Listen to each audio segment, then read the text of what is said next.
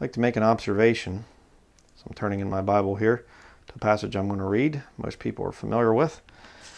The observation is that uh, lost people have to work hard all of their life to go to hell.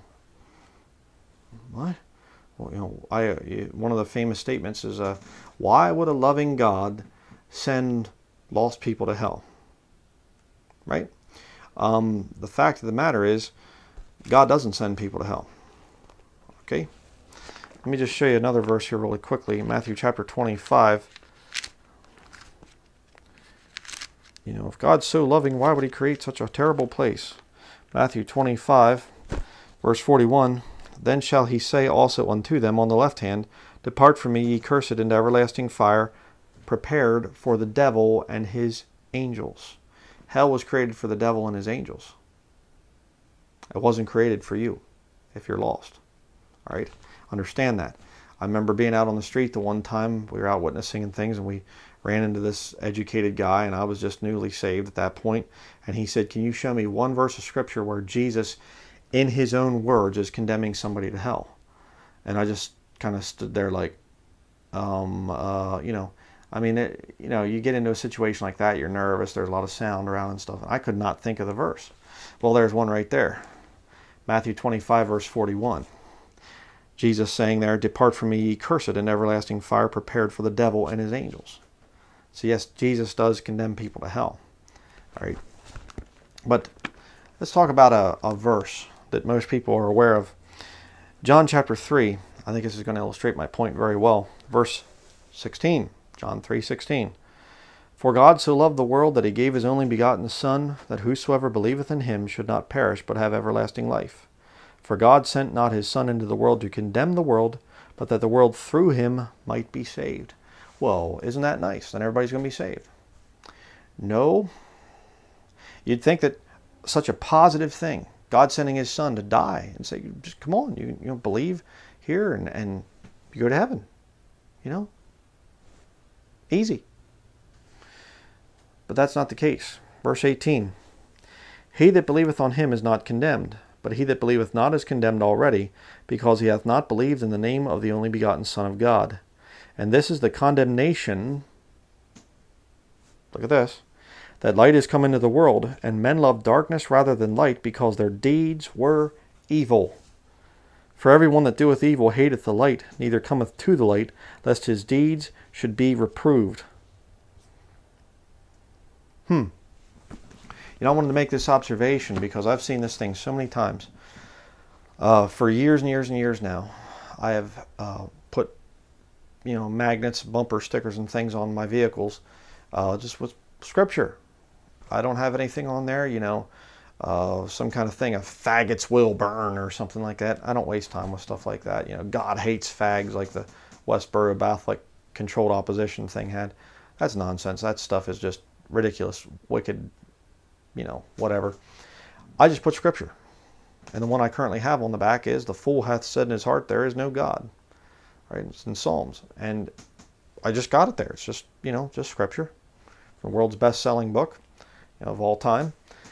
And uh, I can't tell you how many times I've been driving down the road and I'll, you know, all of a sudden somebody comes up behind me, you know, or whatever else and get in traffic or things, you know, and, and I'm stopped at a light and they come up behind me and light changes and and uh, all of a sudden they're staying way back. Then a passing zone comes up and they'll go flying out around me, you know, and, and, and they'll take off and they're going up and they're passing other people and stuff in no passing zones and they're just they're running from something. You see, I'm convinced after seeing this thing for years and years and years and years and years, I'm convinced that to go to hell, if somebody wants to go to hell, and I do mean that, if they want to go to hell, they have to fight God their whole life. Why? Because they don't want to come to light because their deeds are evil. You know, the first thing that will happen to you when you are convinced of atheism, you'll start to do things that are condemned in this book. Don't even tell me about it.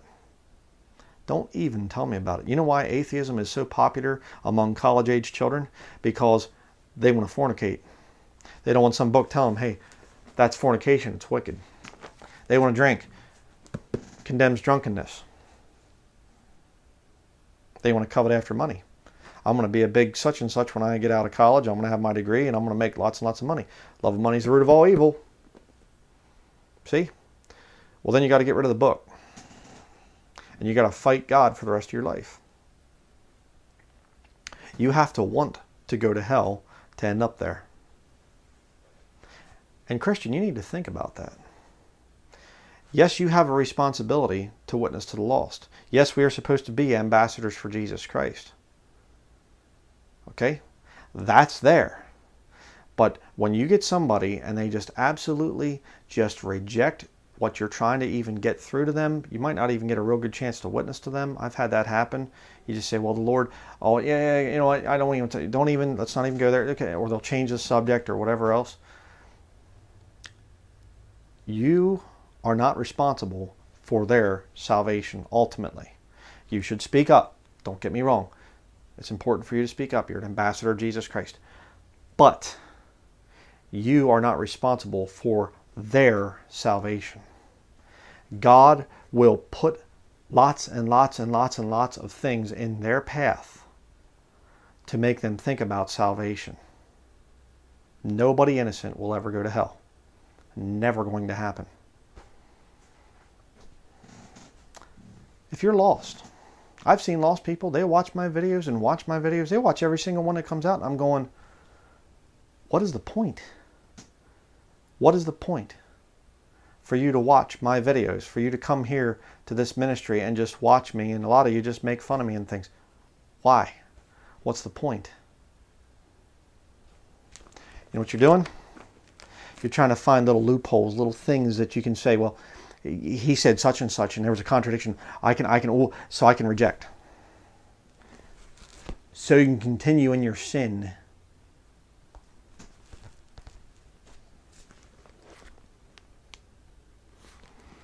The book's got your number. You're going to go to hell. Well, I don't believe in hell. Keep fighting. Well, you have to prove things. Christians prove things all the time. All the time. So this is a video that goes two ways. If you're lost, then I pray that this thing convicts you and you start to realize, I mean, what do you think sin's going to get you? I mean, really. Going out and fornicating your brains out and everything else, you're going to find true love that way? You're not going to find true love that way somebody starts off fornicating and just goes from partner to partner to partner to partner, you're never going to find true love. You're never going to find true love as a woman. Some guy that loves you, no matter what you look like, makeup, no makeup. If you're sick, if you vomited, he'll help clean up your vomit. If there's other things and things like that, you know, female issues and stuff, a real man will love you through that and help you with whatever problems you have. You think that you're going to find that going out to one night stand bars and things like that? You men out there that go whore hopping, be blunt. You go out there and just pick up women and pick up women and stuff. You're going to find some woman that's going to be there for you when you're sick. Some woman that's going to care for you. Let you talk about your innermost feelings, things that are upsetting you, and things like that. Not going to happen, and you know it. Drunkenness. Well, I like to get drunk once in a while. Where's it going to lead you? To better health? Hey, I like to cut people's throats in business. I like to get to the top of the corporate ladder. Why? Work hard so that you can make a lot of money so you don't have to work.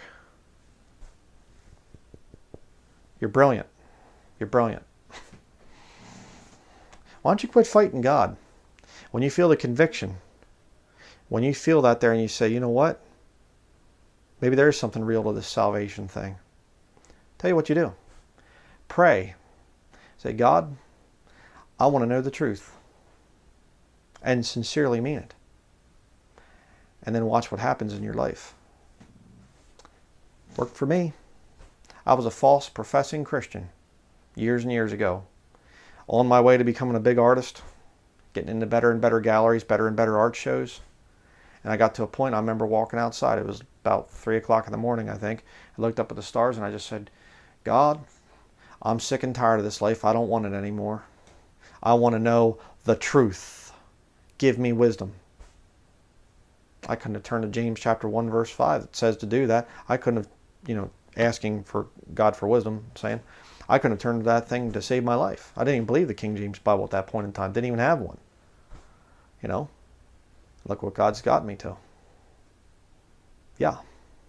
If you're lost, why don't you quit fighting God? Why don't you get salvation figured out? If you're saved, this uh, little challenge here, um, don't beat yourself up over people rejecting Jesus Christ. Okay? Uh, there's a reason that they're fighting. It's called uh, Men Love Darkness Rather Than Light because their deeds are evil. Do your best to witness. Sure, absolutely. And remember, you can't fail witnessing when it comes to handing out tracts and things like that. Just get it out there. they're rejecting something, they're rejecting the Lord because their deeds are evil. Okay? And you know, and it, you get sometimes somebody that just shoots you down and whatever else. Again, they're fighting. You know, they're fighting the conviction of the Holy Spirit that's upon them. So, just want to make that video real quickly here. Uh, just something that's been on my mind a lot lately. I've been seeing this thing more and more. You know, used to be I'd be driving and I'd have the bumper stickers and on the back and on the sides and things. I'd get people and they'd wave and smile and, you know, like this or something. And now it's just like I get people and they're just so nervous and they're looking around and uh, it's a verse of scripture. It's a little, you know, Bible verse. You know? You know, I remember coming up the, the road the one time and it was snowing out and and uh, guy was behind me and he's you know going way back and then he's like you know waiting for a passing zone and it's snowing like crazy and finally gets an area where he can pass. He's in a car, you know, I'm in four wheel drive and he, he's in this car and he rolled out around me and the thing went sideways and he's slipping. Just about broke his neck. You know, I mean, I was scared watching the guy. I can't imagine what he went through. You think uh, he pulled over and said, you know what, I need to get right with God? Of course not. Straightened the car back out and got back in the lane and took off. I mean, just about killed himself. What's he doing? He's running, just like a lot of you lost people are right now. You're running from God. Your time's going to be up one of these days. And then you're going to find out that all the things that I preach here on this channel in terms of eternity, they're all true. You're going to find it out the hard way. You better get saved.